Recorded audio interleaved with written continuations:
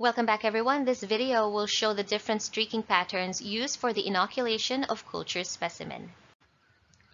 The different types of streaking pattern are the T-streak, quadrant streak, continuous streak, radiant streak, and overlapping streak. And among all of these different streaking patterns, the two most commonly used streaking patterns are the T-streak and the quadrant streak. The T-streak is also known as the three-sector streak because we divide the plate into three sectors. We start by drawing an imaginary T on the Petri dish. The area above the T is where the primary streak is performed. The secondary streak is performed by touching some parts of the primary streak and spreading it throughout the second sector. The tertiary streak is also done the same way by touching some parts of the secondary streak and isolating the rest on the third sector. New loops should be used on the secondary and the tertiary streak. One disadvantage of this streak is that we can only use one sample as spreading more than two samples on the Petri dish would be difficult. The objective of this streaking pattern is to obtain isolated colonies. This picture shows a plate with isolated colonies. The subsequent dilution of the organism through the use of different loops dilutes the colonies and allows them to have isolated colonies. This Petri dish does not give isolated colonies and subculture might be needed to provide isolated colonies. Next is the quadrant streak, also known as the four-quadrant streak, four sectors, four-way streak, or Q streak. Like the T streak, only one specimen may be plated using this inoculating pattern. The Q-streak is performed in the same manner as the T-streak, only this time having four separate equal-sized sections of the agar. So this is the primary streak. After that, a new loop is used, touching some parts of the primary streak to make the second streak, and then a new loop is used, touching parts of the second streak, making the third, third streak. And then lastly, a new loop is used touching some parts of the third streak, isolating the rest of the sector. Like the T-streak, the quadrant streak's objective is to have isolated colonies. This plate shows isolated colonies which may now be used for the next testing. A variation of the quadrant streak is called as the multiple interrupted streak. With this, as the name implies, the streaking pattern is interrupted or is discontinuous. This streaking pattern is usually used for high concentration inoculum like specimens coming from stool.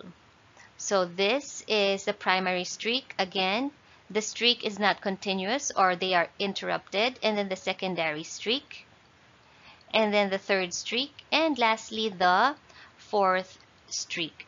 And again, the objective of this is to have isolated colonies after incubation. Next is the continuous streak where only one loop is needed to perform the inoculation, which makes it very easy and quick to perform. To perform this, only a single continuous movement from the starting point or the top of the plate all the way down to the center of the plate is used for inoculation. We use this streaking pattern when the culture is already pure or when the inoculum or the specimen is very dilute or has a minimum number of organisms. Another advantage of the continuous streak is that the plate can be divided into two to six divisions, with each divisions having a different type of specimen. This is used to save media, especially when the resource is very minimum. The semi-quantitative streak is a modification of the continuous streak. This is also known as the simple streak used for urine specimen. For this type of streaking pattern with urine, a calibrated loop is used so that we can quantify the number of isolates or organisms uh, inside the specimen. To perform this, a control line is streaked and then the simple continuous streaking pattern is done all the way up to the bottom of the plate. A control line is ideal not only for the semi-quantitative streak or the simple streak, but to any of the types of streaking patterns. Next is the radiant streak, also known as the radial streak because the inoculating pattern radiate outwards towards the other edge of the plate. This radiant streaking pattern is used to propagate pure culture or when the specimen is diluted. In some cases, other laboratories also use this streaking pattern for fungal isolation.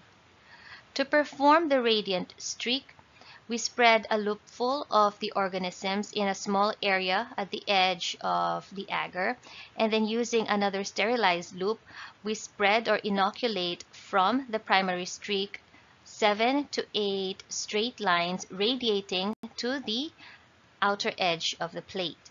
And then after that, we use another sterilized loop to inoculate discontinuous or interrupted streaks perpendicular to the radiating streaks. And lastly, we have the overlapping streak used for sensitivity testing.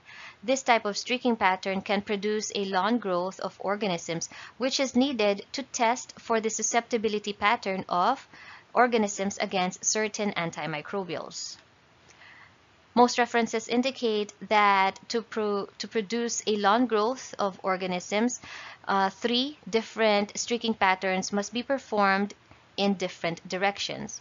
So if this is our plate, for example, our first streak would come from the very top of the plate going all the way down, making sure that there are no spaces in between. So I'm just doing this roughly.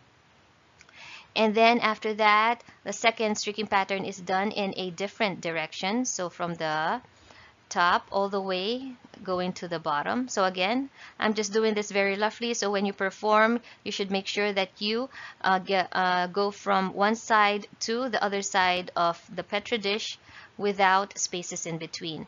And then lastly, a third streak is performed usually diagonal from the other streaks.